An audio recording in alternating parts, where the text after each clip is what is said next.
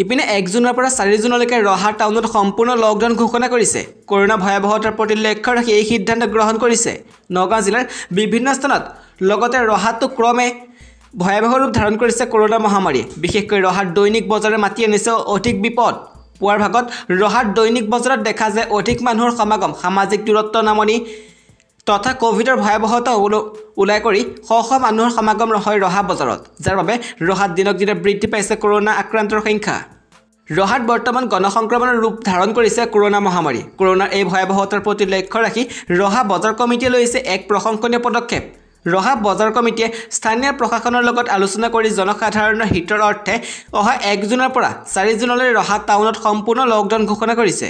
লকডাউনৰ সময়ত ৰহা টাউনত কোনো ধৰণৰ দোকান বজাৰ খুলিব নোৱাৰিব লগতে মানুহৰ সমাগম নিষিদ্ধ কৰা হৈছে। এইসমূহ স্থানীয় প্ৰ- প্ৰশাসন তথা ব্যৱসায়ীসকলে ৰাইজৰ সহযোগিতা কামনা কৰিছে। ইতিমধ্যে এই সম্পৰ্কত প্ৰশাসনে মাইক যোগে সমগ্ৰ ৰহা অঞ্চলত অৱগত কৰিছে। শীঘ্ৰেই পঞ্চায়ত আৰু গ্ৰাম উন্নয়ন বিভাগত পূৰণ কৰা হ'ব তিনি হেজাৰ দুশ সাতষষ্ঠিটা পদ। মুকলি নিযুক্তি প্ৰক্ৰিয়া নিকা আৰু স্বচ্ছ হোৱাৰ আশ্বাস মন্ত্ৰীৰ।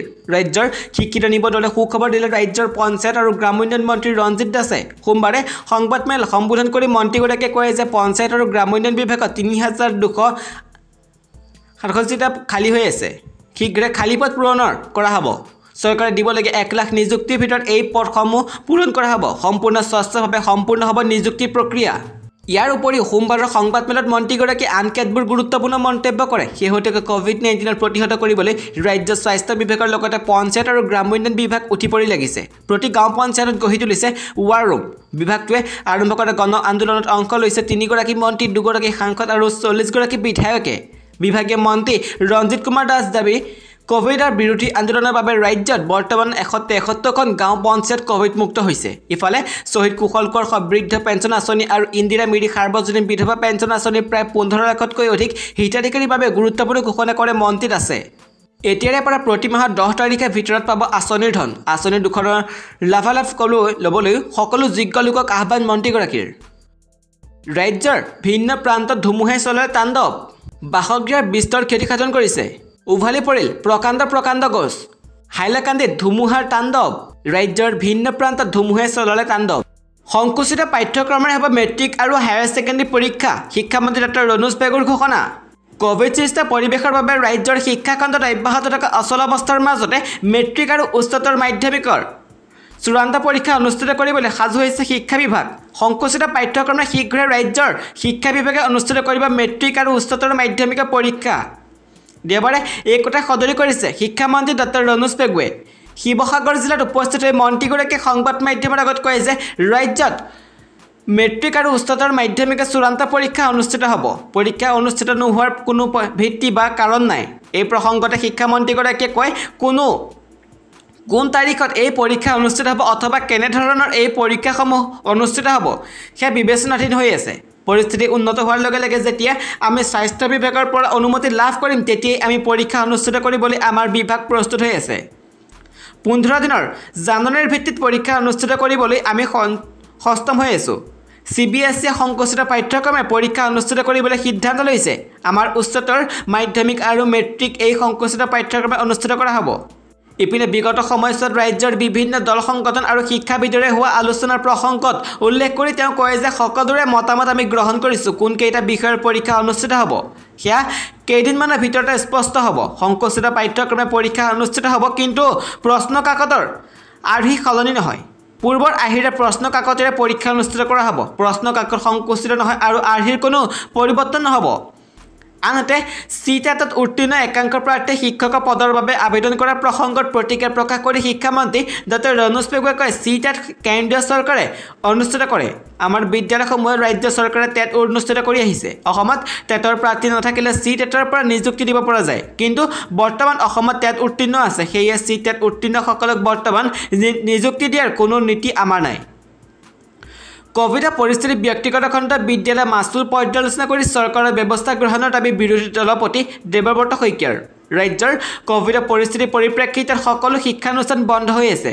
যদিও ব্যক্তিগত খণ্ডৰ বিদ্যালয়সমূহে সাধাৰণ অৱস্থাৰ দৰে ছাত্ৰ ছাত্ৰীসকলৰ পৰা মাচুল আদায় কৰি আহিছে। চৰকাৰৰ কোনো নীতি নিৰ্দেশনা নথকাৰ বাবে ব্যক্তিগত খণ্ডৰ শিক্ষানুষ্ঠানসমূহে পূৰ্বৰ দৰে মাচুল আদায় কৰিছে। এই সংক্ৰান্তত ৰাজ্যৰ বিৰোধী দলপতি দেৱব্ৰত শইকীয়াই বিষয়টো সম্পৰ্কত চৰকাৰৰ হস্তক্ষেপ বিচাৰিছে। এই বিবৃতিত বিৰোধী দলপতি শইকীয়াই কয় যে কভিড মহামাৰী এই দুৰ্যোগৰ সময়ত ব্যক্তিগত খণ্ডৰ বিদ্যালয়সমূহৰ মাচুল পৰ্যালোচনা কৰি চৰকাৰে কৰ্তন কৰা এক ব্যৱস্থা ল'ব লাগে।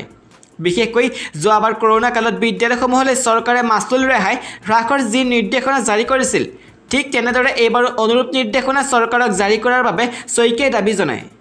এক জুনৰ পৰা সলনি হ'ব এইসমূহ নিয়ম। আপোনাৰ দৈনন্দিন কাম কাজত পৰিব পাৰে প্ৰভাৱ। এক জুনৰ পৰা বহু সেৱাত দেখা যাব পৰিৱৰ্তন যাৰ প্ৰত্যক্ষ প্ৰভাৱ আপোনাৰ বেংক একাউণ্টত পি এফ একাউণ্ট আৰু উপাৰ্জনৰ ওপৰত পৰিব। গতিকে আজিয়েই এইসমূহ তথ্যৰ বিষয়ে অৱগত হওক যাতে আপুনি আৰু চিন্তাত পৰিবলগীয়া নহয়। ইয়াত অন্তৰ্ভুক্ত আছে গেছ চিলিণ্ডাৰ আৰু আয়কৰ কেইবাটাও অত্যাৱশ্যকীয় পৰিৱৰ্তন। এই ছটা পৰিৱৰ্তনৰ বিষয়ে জানো আহক সলনি হ'ব বেংক অৱ বৰোদাৰ ধন পৰিশোধ কৰা পদ্ধতি।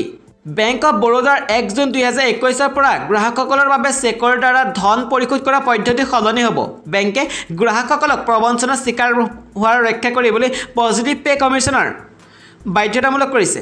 বেংকৰ বিষয়াসকলে কৈছে যে গ্ৰাহকসকলে পজিটিভ পে' ছিষ্টেম অধীনত চেকৰ বিৱৰণ নিশ্চিত কৰিব লাগিব যদিহে তেওঁলোকে দুই লাখ বা ততোধিক টকাৰ বেংক চেক জাৰি কৰে। সলনি হ'ব গেছ চিলিণ্ডাৰ দাম। ৰন্ধন gas L P G cylinder দাম পৰিৱৰ্তন এক জুনৰ পৰা হ'ব পাৰে। সাধাৰণতে প্ৰতিমাহে তেল কোম্পানীবোৰে এল পি জি চিলিণ্ডাৰ নতুন মূল্য জাৰি কৰে। কেতিয়াবা মাহত দুবাৰো পৰিৱৰ্তন দেখা যায়। চৈধ্য দশমিক দুই কেজি এল পি জি চিলিণ্ডাৰৰ মূল্য বৰ্তমান দিল্লীত আঠশ ন টকা। চৈধ্য কেজি দুই কেজি চিলিণ্ডাৰৰ উপৰিও ঊনৈছ কিলোগ্ৰাম চিলিণ্ডাৰৰ মূল্য সলনি কৰাৰো সম্ভাৱনা আছে। অৱশ্যে এইটো নহয় যে এক জুন চিলিণ্ডাৰ নতুন মূল্য জাৰি হ'ব। কেতিয়াবা দাম একে থকাও দেখা যায়। আয়কৰ ৱেবছাইট বন্ধ থাকিব। আয়কৰ বিভাগৰ ই ফাইলিং পৰ্টেলটোৱে একৰ পৰা ছয় জুনলৈকে কাম নকৰিব। সাত জুনত আয়কৰ বিভাগ কৰদাতাসকলৰ বাবে আয়কৰ ই ফাইলিঙৰ এটা নতুন পৰ্টেল মুকলি কৰিব। আয়কৰ সঞ্চালকালয়ৰ মতে আই টি আৰ পুৰণৰ অফিচিয়েল ৱেবছাইট সাত জুন দুহেজাৰ একৈছৰ পৰা সলনি কৰা হ'ব। সাত জুনৰ পৰা এই মুহূৰ্ত এই মুহূৰ্তত হৈ পৰিছে এই ৱেবছাইট। পি এফ আধাৰ সৈতে সংযুক্ত কৰিব লাগিব। ই পি এফ অই নিৰ্দেশ দিছে যে যদি কোনো একাউণ্টত আধাৰ বা ইউনে ইউনো এছৰ আধাৰ।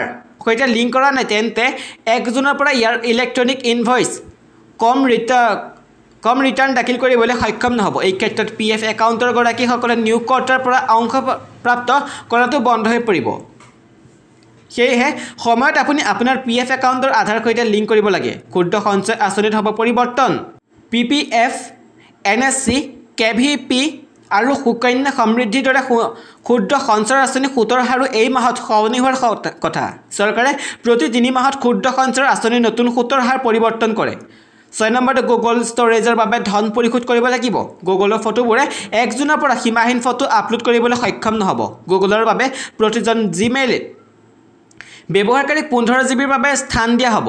এই স্থানত ইমেইল আৰু ফটো অন্তৰ্ভুক্ত থাকে। লগতে গুগল ড্ৰাইভ অন্তৰ অন্তৰ্ভুক্ত আছে। যদি আপুনি পোন্ধৰ জিবিতকৈ অধিক স্থান ব্যৱহাৰ কৰিব বিচাৰে আপুনি ইয়াৰ বাবে ধন পৰিশোধ কৰিব লাগিব।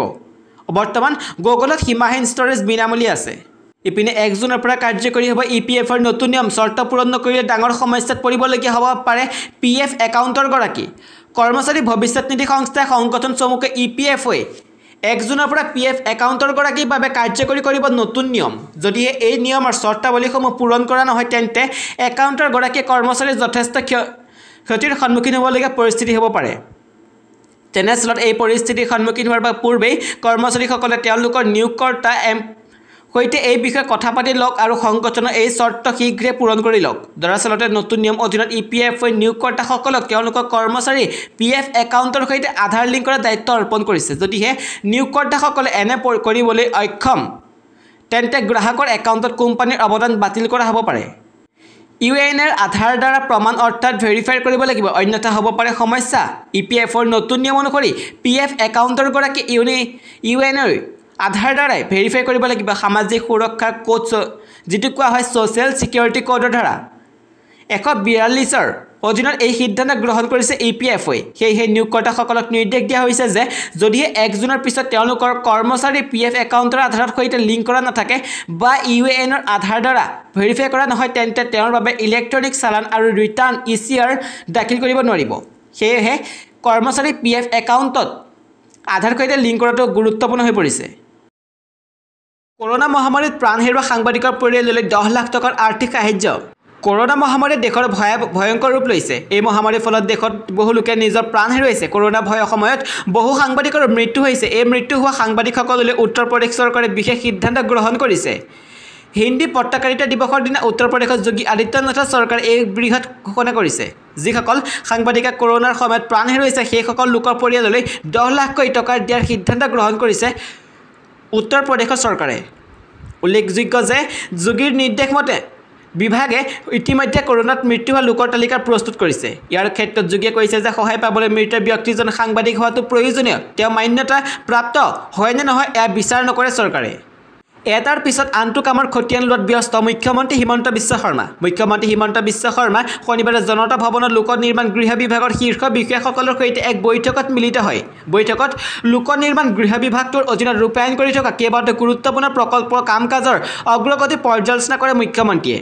মুখ্যমন্ত্ৰী দত্ত শৰ্মাই গুৱাহাটী মেডিকেল কলেজ হাস্পতাল চৌহদত নিৰ্মীয়মান ছুপাৰ স্পেচিয়েলিটি হাস্পতাল শিলচৰ মেডিকেল কলেজ হাস্পতালত নিৰ্মীয়মান পাঁচশখন বিচনাযুক্ত জৰুৰীকালীন চিকিৎসালয়ত গুৱাহাটীৰ অসম কনভেনশ্যন চেণ্টাৰ আৰু ৰাজ্যিক অতিথিশালা নাৰায়ণপুৰৰ মাধৱদেৱ কলাক্ষেত্ৰৰ লগতে ৰাজ্যৰ বিভিন্ন জিলাত নিৰ্মাণ কাৰ্য চলি থকা নতুন চিকিৎসা মহাবিদ্যালয়সমূহৰ কাম কাজৰ অগ্ৰগতিৰ বুজ লয়।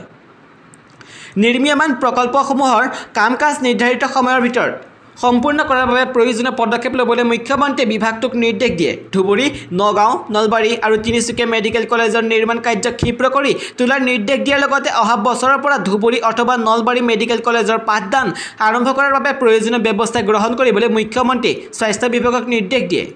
মুখ্যমন্ত্ৰীয়ে চৰাইদেউ আৰু বিশ্বনাথ মেডিকেল কলেজৰ অগ্ৰগতিৰ বুজ লোৱাৰ উপৰি মৰিগাঁও আৰু ধেমাজি মেডিকেল কলেজৰ বাবে ভূমি আবণ্টন স্থপতিবিদ নিযুক্তি আদিৰ প্ৰাৰম্ভিক কাম কাজ এমাহৰ ভিতৰত সম্পূৰ্ণ কৰিবলৈ নিৰ্দেশ দিয়ে। লোক নিৰ্মাণ বিভাগৰ অধীনত ৰূপায়িত এশ কোটি টকা প্ৰকল্প ব্যয়ৰ ঊৰ্ধৰ সকলো প্ৰকল্পতে প্ৰজেক্ট মেনেজমেণ্ট কনচাল্টে কনচালটেঞ্চি নিয়োগ কৰাটো বাধ্যতামূলক কৰিবলৈ মুখ্যমন্ত্ৰীয়ে নিৰ্দেশ দিয়ে। বৈঠকত মুখ্যমন্ত্ৰী ডক্টৰ হিমন্ত বিশ্ব শৰ্মাই লোক নিৰ্মাণ গৃহ বিভাগ আৰু লোক নিৰ্মাণ গৃহ আৰু ৰাষ্ট্ৰীয় ঘাইপথ বিভাগৰ শেহতীয়া অনুমোদিত নিৰীক্ষৰ তালিখ নিৰীক্ষৰ তালিকা সম্বলিত তিনিখন পুস্তিকা উন্মোচন কৰে।